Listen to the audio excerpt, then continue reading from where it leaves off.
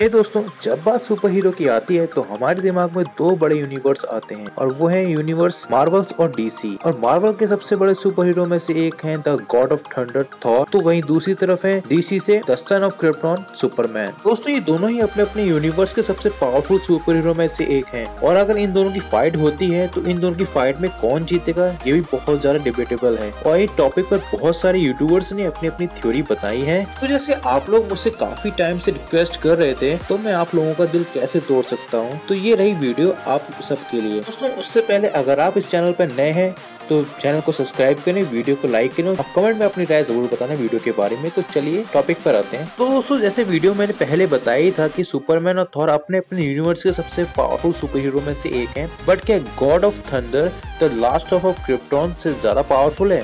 तो DC universe में Superman को एज अ गॉड कंसीडर किया जाता है। दोस्तों, सुपरमैन भले ही एलियन है बट उसे अर्थ अर्थ पर गॉड का दर्जा दिया जाता है। और और हो ही क्यों ना मूवीज़ और कॉमिक्स में वो ऐसे ऐसे स्टैम के फीट को परफॉर्म कर चुका है, जिन फीड्स को पास कर पाना किसी भी सुपर हीरो के लिए बहुत ही ज़्यादा मुश्किल है। तो क्या सुपरमैन की पावर इनफ है जो अप कर सके मार्वल के गॉड ऑफ़ थंडर से? तो दोस्तों, ये काफ़ी काफ़ी चैलेंजिंग क्वेश्चन तो है। दोस्तों कॉमिक्स में दोनों के ही फीड्स काफ़ी ज़्यादा इम्प्रेसिव हैं। और इतने सालों से इन दोनों सुपर हीरो की पावर में काफ़ी ज़्यादा डिफरेंस और काफ़ी ज़्यादा चेंजेस भी देखने को मिली है। मैं आपको स्ट्रेट फॉरवर्ड आंसर दूँ तो in term of power of lifting object Superman के पास काफ़ी ज़्यादा एज है। अगेंस्ट थॉर सुपरमैन ने उस ऑब्जेक्ट को लिफ्ट किया है जिन्हें वेट सबसे ज़्यादा थे बट कॉमिक्स में सुपरमैन की लिफ्टिंग फ़ील्ड वो अलग ही लेवल पर है। दोस्तों सुपरमैन ने तो ओनली पुश करके प्लेनेट को ऑर्बिट से बाहर कर दिया था और उसने एंटायर गैलेक्सी को मूव भी किया है। और सुपरमैन काफ़ी ज़्यादा स्ट्रॉन्ग है क्योंकि उसने अर्थ को बेंच प्रेस किया है काफ़ी दिन तक, यानी मल्टीपल टाइम और अर्थ को बेंच प्रेस करने के बाद उसने बोला है it's the time of workout तो यह सुपरमैन के पास एक एज है थॉर के मुकाबले में बट थॉर भी अपनी स्ट्रेंथ को और अपनी पावर को इंक्रीज कर सकता है क्योंकि थॉर के पास पावर ऑफ़ सोर्स अर्थ और एसगार्ड है। और दूसरी ओर सुपरमैन मल्टीपल सन्स की पावर को यूज़ कर सकता है।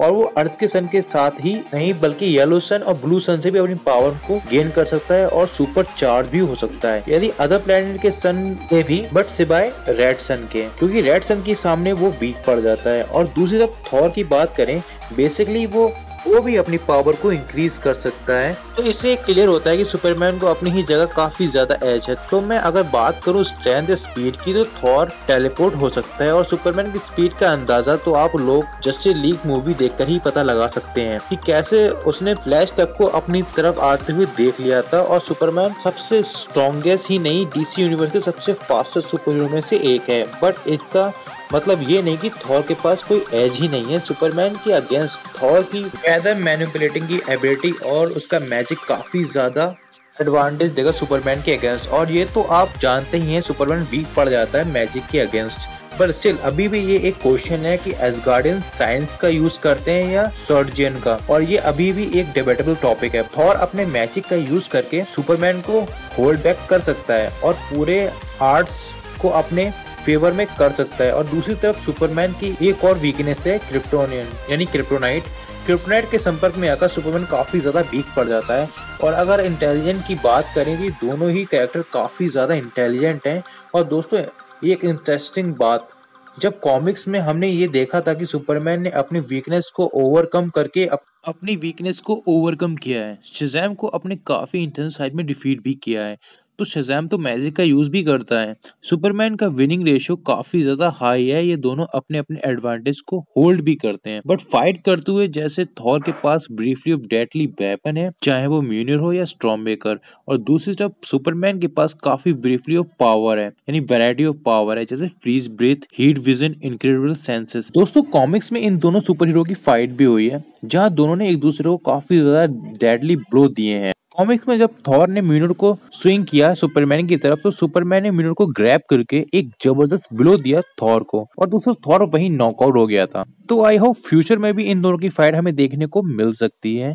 आई होप और वो फाइट काफ़ी ज़्यादा शानदार होगी। तो हमें देखने में काफ़ी ज़्यादा मज़ा भी आएगा। दोस्तों, अगर मैं अपना पॉइंट ऑफ़ व्यू दूँ तो मैं किसी तरफ़, अपने तरफ़ से किसको विनर कोशिश करूँगा। तो दोस्तों, अगर इनकी फाइट में मैं अगर किसी को डिक्लेयर करता हूँ विनर तो वो सुपरमैन होगा। दोस्तों आई होप आपको वीडियो कैसी लगी। आई थिंक अच्छी लगी होगी तो वीडियो को लाइक चैनल को सब्सक्राइब ज़रूर कर लेना। और गाइस चैनल को सब्सक्राइब कर लो, जिससे मैं आपके लिए ऐसी वीडियो लेकर आता रहूँ। Thanks for watching